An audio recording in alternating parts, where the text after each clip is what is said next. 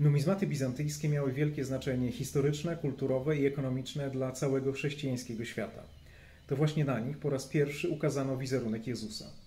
Wcześniej pojawiały się symbole takie jak krzyż, jednak dopiero w czasach cesarza Justyniana II, czyli pod koniec VII wieku, pojawił się złoty numizmat ozdobiony wizerunkiem Zbawiciela.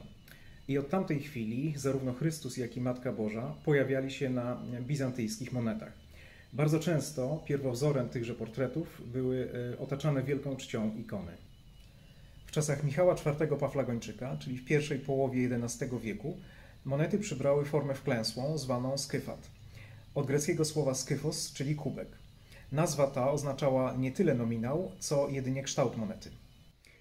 O formie numizmatów przesądziły prawdopodobnie względy praktyczne. Skefaty miały dłuższą żywotność niż płaskie monety narażone na zgięcia. Ponadto łatwiej było je podnieść z gładkiej powierzchni. Monety wklęsłe i płaskie funkcjonowały początkowo równocześnie, ale od połowy XI wieku standardem stały się te łódkowate.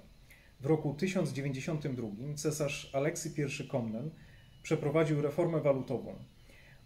Funkcjonujące na rynku histamenony i tetraterony zastąpił hyperpyronami o wysokiej zawartości złota. Była to jego odpowiedź na postępującą dewaluację bizantyjskiego pieniądza. Numizmatyczną pamiątką panowania dwóch cesarzy z dynastii Paleologów, ostatniej, która władała cesarstwem, Andronika II i jego syna Michała IX, jest złoty hyperpyron w kształcie miseczki. Moneta została wybita ze złota próby 900 na 1000 pomiędzy rokiem 1294 a 1320.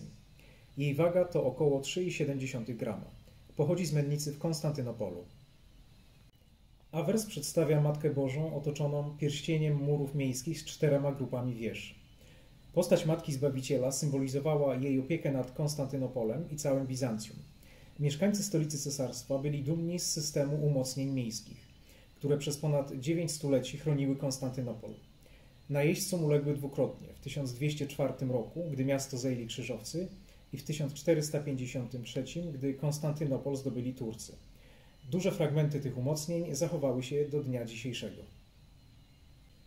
Rewers monety ukazuje dwóch cesarzy, Andronika II Paleologa z lewej i Michała IX Paleologa z prawej, klęczących po obu stronach Chrystusa. Ręce Jezusa spoczywają na głowach cesarzy w geście koronacji lub błogosławieństwa. Do przechowywania tej wyjątkowej, liczącej sobie 700 lat monety służy kapsuła ze specjalną membraną, która dopasowuje się do kształtu przedmiotu kolekcjonerskiego.